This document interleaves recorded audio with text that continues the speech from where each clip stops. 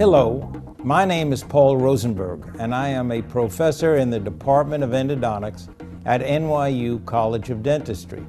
I'm also an author of many articles, chapters, and a new textbook titled Endodontic Pain.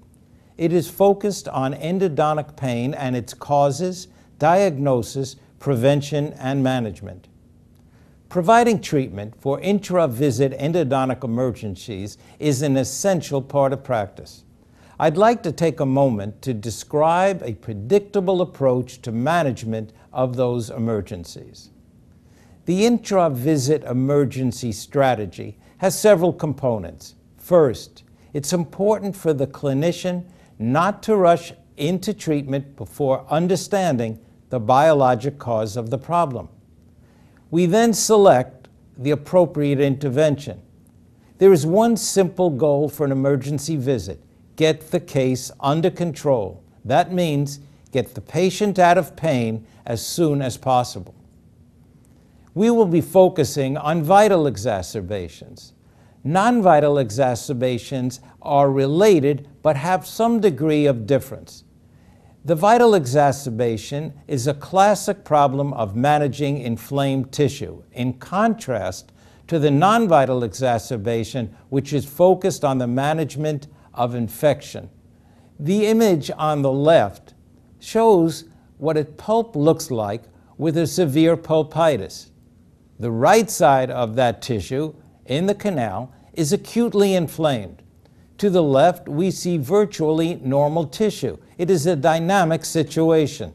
We cannot predict how long the tooth will remain in this condition or will it become more acute and ultimately necrotic. How do we determine the cause of a flare up?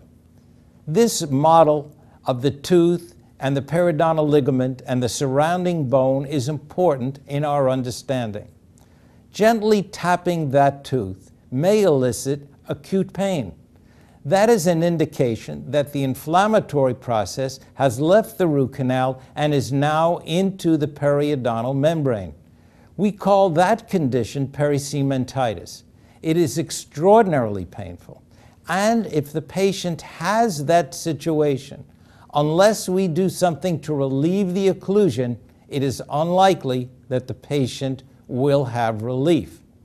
Also, from this model, we can look at the thickness of bone overlying both surfaces of the tooth. As we palpate that area and the finger slides up from the gingival third to the apical third, Pain in endodontics generally causes pain in the apical third of the tooth during palpation. However, if the patient has pain in the gingival third during palpation, it is an indication that something else may be going on, such as it could be a periodontal situation. There could be a crack, but certainly it is not a classic endodontic symptom to have pain in the gingival third. Vital exacerbations have a series of factors that are usually associated with them. One is that they are usually iatrogenic. That means that something procedurally has happened to cause the patient to go from an asymptomatic condition to severe pain. Those iatrogenic conditions include the measurement, the measurement may have been inaccurately taken, or it may not have been properly recorded, or it may have been estimated. There's a direct line between having a problem and the degree of estimation. The more we are estimating, the more likely it is that the patient will have pain.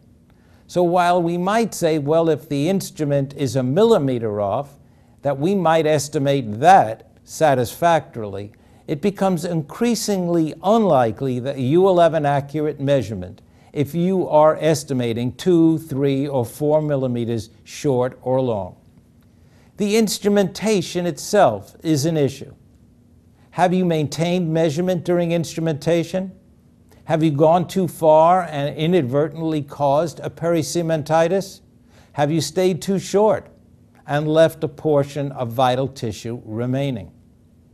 Obturation of a tooth that is mildly or moderately symptomatic can lead to acute postoperative pain just because of irritation caused by manipulation. You would be well advised not to obturate a tooth until the patient is asymptomatic. The occlusion is another factor. If the patient leaves with a restoration that is slightly high in occlusion, it can be the cause of severe pain. There is good research that indicates that if it is possible, meaning no new restoration present, and you can reduce the occlusion, you would be well advised to do so. Here are our treatment options for exacerbations. A pulpotomy. Pulpotomy has been shown to be a highly effective procedure in treating a tooth with irreversible pulpitis. By clearing the tissue from the pulp chamber of a tooth, that is often sufficient to provide comfort to patients who are in pain. Complete instrumentation or re-instrumentation is often a good approach if tissue has been left behind or shredded due to incomplete instrumentation. We've just discussed the importance of occlusion and not allowing a patient to leave with high occlusion or relieving occlusion whenever possible. Incision and drainage is a possibility, but not in vital cases. There are many anecdotal tales about trephination, but I must say this that the research that has been published on this subject is not encouraging. And so I would advise against trephination. There are some who say that this is the last resolve after everything else has been tried to bring pain under control. Medication is, of course, another option. And the treatment strategies and how to use medications we will discuss together elsewhere in another segment. One question about taking an analgesic is when should I take it? Now, the classic means of prescribing an analgesic is that a patient is told if you have pain, then take this medication. Unfortunately, that is not the best way to take an analgesic. Pain is caused by the release of mediators. If we wait until those mediators are in place, which usually takes about two hours, we're really playing catch up. It would be better advised to have that patient take the analgesic immediately after treatment in a preemptive or preventative mode.